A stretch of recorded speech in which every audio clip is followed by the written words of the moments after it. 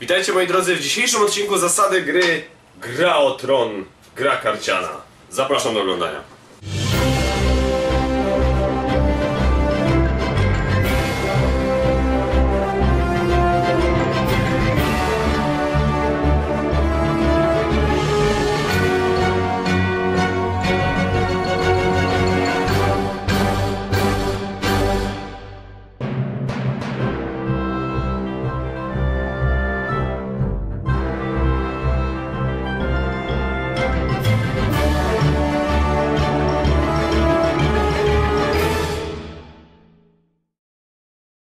Witajcie geeki moje kochane, w dzisiejszym odcinku mam przyjemność przedstawić wam zasady gry Gra o Tron, gra karciana.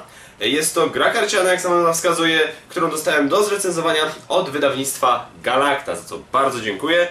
Yy, To tradycyjnie jest to drugi filmik z dwóch. W poprzednim mogliście zobaczyć moją recenzję, co ja sądzę na temat tej gry. Jeżeli to was interesuje, kliknijcie proszę tutaj i ten link przeniesie was do filmu z recenzją. Teraz natomiast zasady już bez zbędnego wprowadzenia zapraszam was do stołu, gdzie przedstawię wam zasady gry o tron. Słuchajcie, przed wami jest stół, ale jeszcze nie do końca przygotowany do rozgrywki, ponieważ chcę tu jeszcze parę słów powiedzieć. Yy, W tę grę można grać na dwa tryby. Jeżeli gracie w dwie osoby, to wtedy gracie tak zwany pojedynek. Jeżeli gracie na trzy lub więcej, gracie wtedy tak zwany tryb starcia. Teraz słuchajcie, ja wam tu przedstawię zasady pojedynku bardzo dokładnie, a zas- o zasadach e, starcia powiem wam mniej, e, bo też w sumie tak one za dużo jakoś tam nie zmieniają, ale trochę jednak zmieniają, ale to wam wszystko, że tak powiem, e, zaraz, zaraz pokażę. Więc przede wszystkim, co mamy w grze? Jak na grę karcianą przystało, mamy dużo kart. Mamy takie karty poziome. E, To są karty, to są tak zwane karty fabuły. Do każdego rodu sobie na początku gry ustalamy, co, wybieramy konkretne tali- karty fabuły. No i mamy oczywiście nasze karty gry. Przy czym mamy karty rodu, i różne karty, takie tak zwane ogólne. To, które karty wybieracie do danej talii, jest opisane w instrukcji w przygotowaniu do gry. Wtedy się po prostu kierujecie tymi oto numerkami, które tutaj w grze w rogu karty widzicie. Jak już się zdecydujecie, pojedynek jest tutaj opisany na starcie, na, przepraszam, na walkę rodu Starków i rodu Lannisterów. Jak już sobie wybierzecie, bierzecie, wykładacie karty waszego stronnictwa. To, jest, to się nazywa karta stronnictwa i kładziecie ją przed sobą. Następnie talię tam wiadomo kładziecie obok, żeby, żeby mieć waszą talię do dobierania. To samo robicie z kartami fabuły, tylko trzymacie je poziomo, żeby można było to odróżnić. Więc tak wyglądają karty w tej grze. Co jeszcze mamy tutaj? Słuchajcie, mamy nasze, naszą walutę, czyli żetony złota. Mamy oczywiście znacznik pierwszego gracza w postaci żelaznego tronu, a jak żeby inaczej. Wybie, załóżmy, że Stark jest pierwszym graczem. Mamy nasze żetony władzy, które będziemy starali się zebrać podczas rozgrywki. No i mamy jeszcze takie dwustronne żetony, które są wykorzystywane właśnie w starciu. I oczywiście takie karty tytułów, które również są wykorzystywane w starciu. Teraz tak, co jeszcze musicie wiedzieć, jeśli chodzi o wprowadzenie? Że w tej grze będziecie grać w taki sposób, że będziecie zagrywać karty przed siebie. I teraz tak, z różnych powodów karty mogą, mogą być wykorzystywane, tak?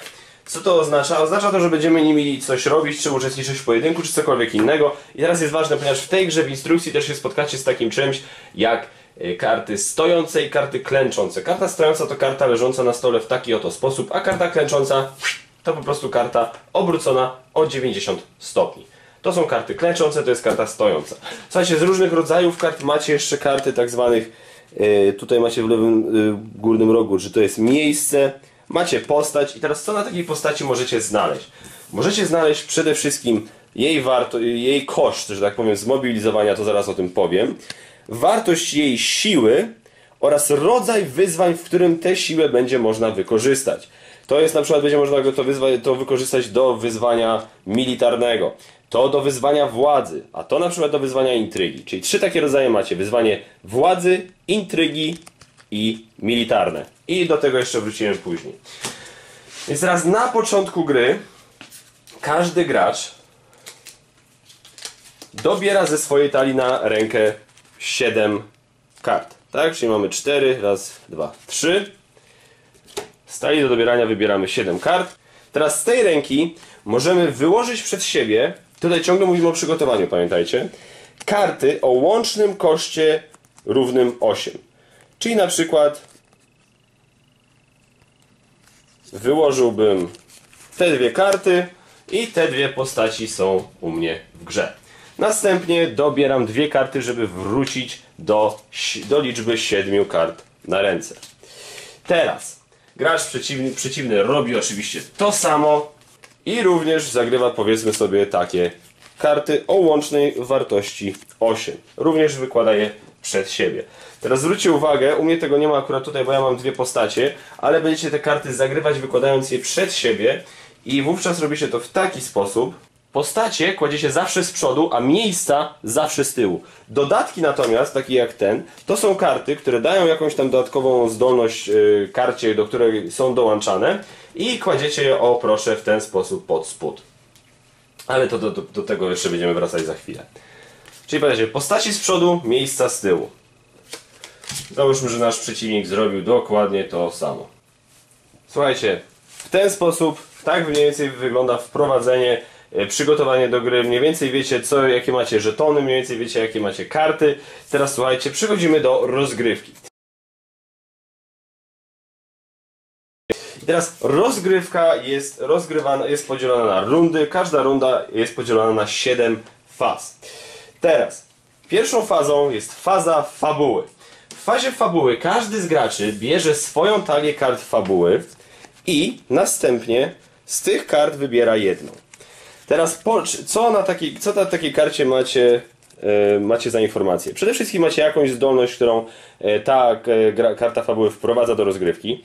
Następnie macie wartość złota, która wskazuje ile złota będziecie mieli do wykorzystania w danej rundzie. Następnie macie i wartość inicjatywy. To Wam wskaże, który gracz będzie wygrywał, wygra inicjatywę. Tutaj natomiast macie wartość roszczenia. Tam różne karty, zwłaszcza podczas wyzwań, będą wywoływały różny efekt w zależności właśnie od wartości roszczenia. Tutaj natomiast macie limit kart na ręce na koniec rundy.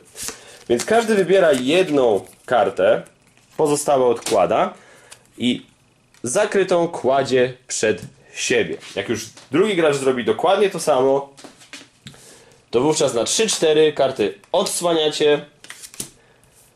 No i wprowadzacie efekt w taki sposób, że patrzycie, który ma większą inicjatywę. Ten dostaje znacznik pierwszego gracza. Następnie sprawdzacie, ile złota kto ma e, do wykorzystania w danej rundzie, no i sobie możecie to złoto pobrać, żeby mieć tutaj waszą pulę. Ja na przykład mam 4, a mój przeciwnik ma w tej chwili, widzę, 6. On też wygrał znacznik pierwszego gracza, bo on miał inicjatywę 2, ja miałem inicjatywę 0. E, no i on dostał również 6 złota. Więc to jest faza fabuły. Kolejną fazą jest faza dobierania. W fazie dobierania gracze jednocześnie dobierają dwie karty stali dobierania. I to jest wszystko.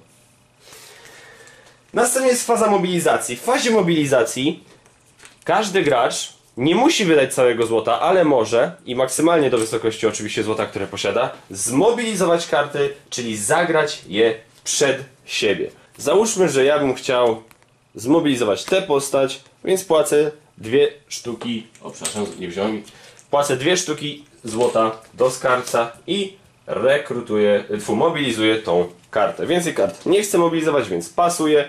Potem drugi gracz, znaczy właściwie tamten gracz powinien pierwszy, bo on ma żeton z y, żelaznego tronu. I tamten gracz robi dokładnie to samo. Po fazie mobilizacji jest faza wyzwań. I teraz uwaga.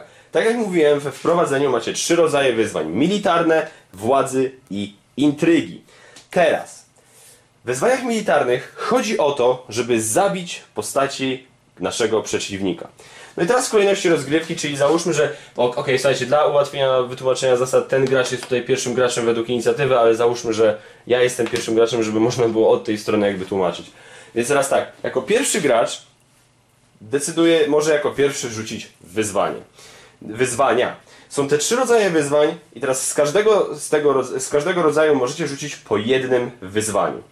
No więc załóżmy, że chcecie rzucić wyzwanie militarne, wy macie tylko taką postać, więc deklarujecie atakującego, obracacie go, czyli klękacie tą kartą, no i teraz wasz przeciwnik musi wybrać kogoś do obrony. Znaczy musi. Nie musi, może albo wybrać kogoś do obrony, albo, albo nie mieć kogo, nikogo do obrony, bo nie ma żadnej, tak jak w tym przypadku, gracz przeciwny nie ma żadnej karty, którą mógłby się bronić militarnie, więc nie deklaruje żadnego obrońcy. Mógłby natomiast, jak gdyby, de, gdyby deklarował, to również by tą kartą klęknął, powiedz, w ten oto sposób. Natomiast nie deklaruje, no i teraz po tym jak ja zadeklarowałem atakującego, przeciwnik zadeklarował broniącego, to wówczas robimy porównanie siły, czyli porównanie tych łącznych wartości. Pamiętajcie, że można zadeklarować więcej atakujących i można zadeklarować więcej niż jednego obrońców. No i teraz w tym przypadku ja wygrałem, wygrałem nieobronione wyzwanie, ponieważ ten gracz nie zadeklarował żadnych obrońców. Więc nie dość, że wygrywam, to jeszcze otrzymuję jeden żeton władzy za nieobronione wyzwanie i kładę to na swojej karcie.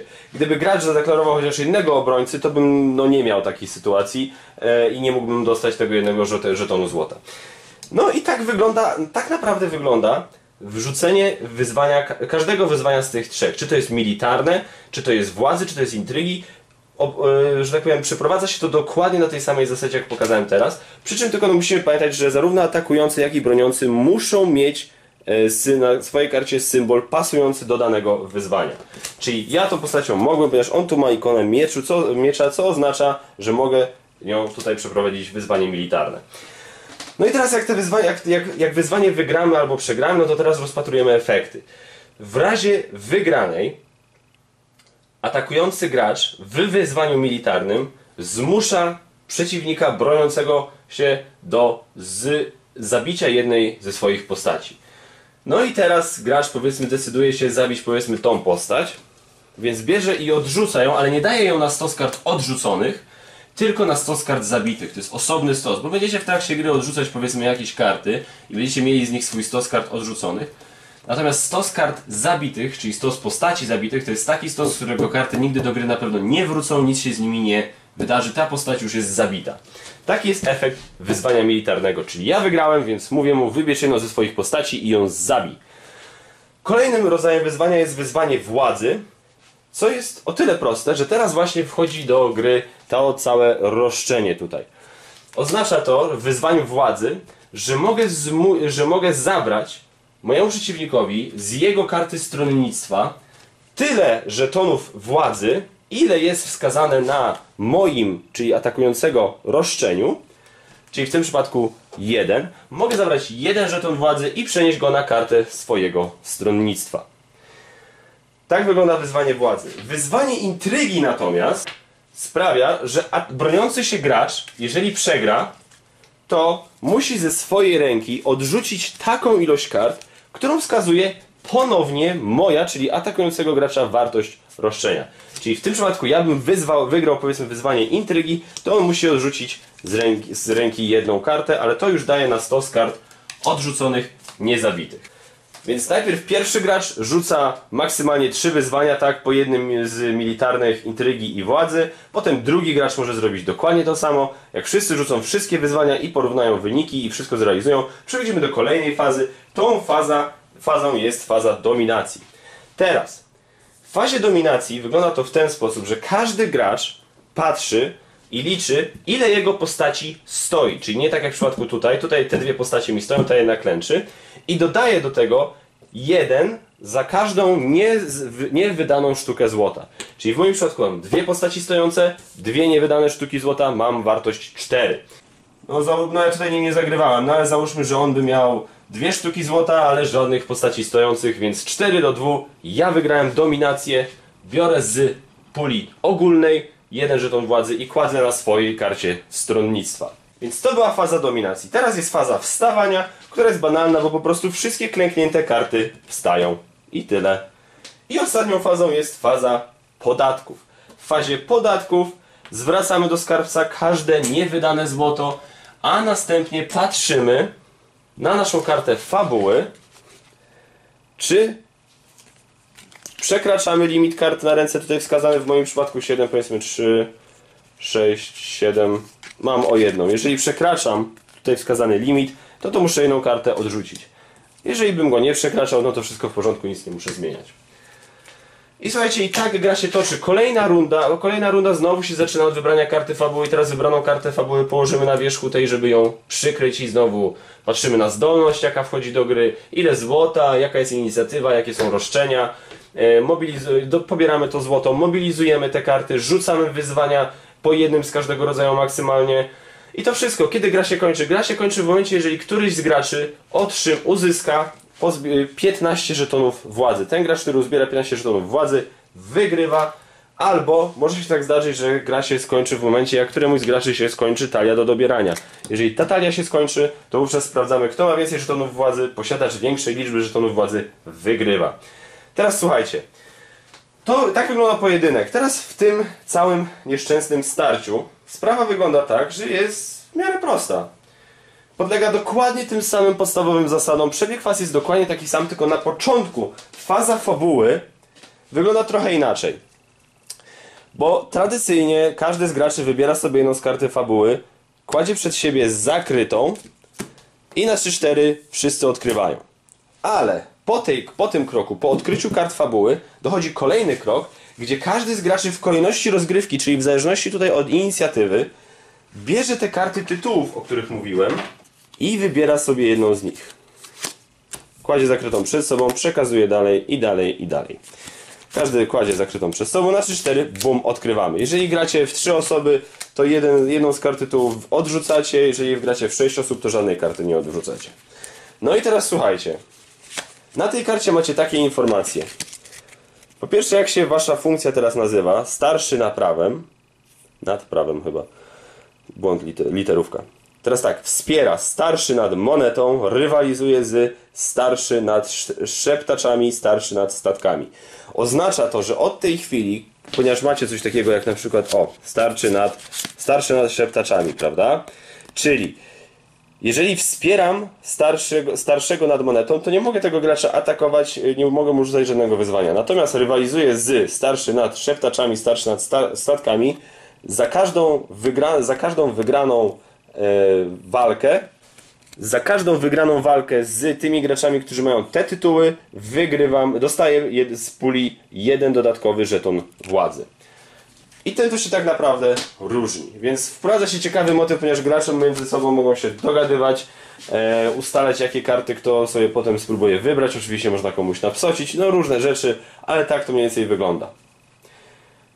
No to tyle. Dziękuję Wam bardzo za uwagę. No słuchajcie, widzicie, gra jest naprawdę prosta. E, Nie e, jest, jedyne co komplikuje tę grę tak naprawdę to fakt, że parę rzeczy jest niejasnych. E, na przykład ja ciągle nie jestem pewny, czy ja dobrze rozumiem, że kontrol, kontrolę gracza, bo my tak zrozumieliśmy, że kontroluję postaci, które mam na ręce i które mam zagrane przed sobą na stole, ale mogę się mylić, ponieważ ani w podstawowej instrukcji, ani w tej kompletnej księdze zasad za bardzo tego nie widziałem. E, więc y, mo- mogę się akurat tutaj mylić, ale, ale nie wiem. Jeżeli uważacie, że coś wam źle powiedziałem, z czymś się pomyliłem, albo coś za mało powiedziałem, chcecie wiedzieć coś więcej, to pytajcie się śmiało w komentarzach, po to one są, żeby właśnie ja wam pomagał. Czy mam jakieś podpowiedzi co do strategii? Powiem szczerze, nie wiem. Nie wiem, nie wiem, nie wiem, bo jest jeszcze za mało razy w to grałem. Zagrałem w to na tyle razy, żeby móc tę grę wyczuć, czy mi się podoba, czy nie. Podoba mi się. Ale powiem szczerze, jeszcze nie jestem przygotowany na doradzanie, jeśli chodzi o strategię, ponieważ e, jest, jest, jest trochę losowa ta gra, jak każda gra karciana, prawda? Czyli w zależności od tego, jakie karty sobie dobiorę, e, no to będę tam jakoś tam sobie mógł tym manipulować. No nie wiem, jeżeli mam jakąś fajną, fajny pomysł, tak? Z jakąś, jakimś fajnym pomysłem rozpoczynam grę, ale na przykład y, większość kart, które mam na ręce, to są karty miejsc albo dodatków, albo czegoś takiego i mam mało postaci, no to i tak sobie za dużo nie pogram. No więc tutaj taki.